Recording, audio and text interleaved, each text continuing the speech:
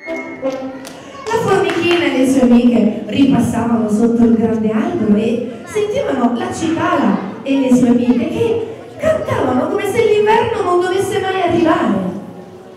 Un pomeriggio di festa tutto dedicato ai bambini. Al Palazzo Boncompagni di Arpino, Veronica Maia e la musica dei solisti del Millennium Ensemble raccontano le favole di Esopo, emozioni, magia e tanto divertimento, l'occasione migliore per festeggiare il carnevale. Giriamo l'Italia, anzi devo dire che il gruppo è stato anche in America, incontriamo bambini con le loro famiglie, con i loro genitori, zii, nonni, perché poi è uno spettacolo adatto a tutte le età e li incontriamo nelle scuole, negli auditorium, nelle piazze, ehm, per portare la bellezza della musica e delle favole a questa fascia d'età che è la più tenera, la più ricca, è quella che dà la risposta più bella a questo genere di linguaggio che non dovremmo mai dimenticare.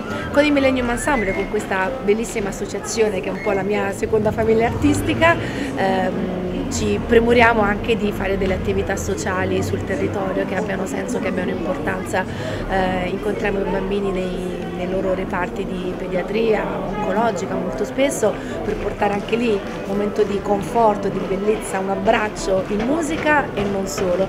E recentemente abbiamo anche incontrato eh, dei detenuti nella, nel loro momento di incontro con, la, con le famiglie, con i loro figlioli e anche quello devo dire è stato un momento molto emozionante ma anche molto utile eh, perché perché ha portato un momento di amore anche in un contesto dove magari sembra più difficile che di amore si parli. Con la musica e con le favole si possono raggiungere anche questi obiettivi apparentemente difficili e invece molto belli, molto ricchi. Il divertimento dei bambini attraverso le favole e la musica. L'appuntamento di Arpino rientra in un ampio progetto ideato, prodotto e promosso dall'associazione Assoflut, nata nel 2006. L'obiettivo era quello, attraverso il racconto delle favole, di educare i bambini all'ascolto della musica e soprattutto alla conoscenza degli strumenti musicali. Infatti in queste favole è molto divertente il fatto che gli strumenti imitano proprio degli animali.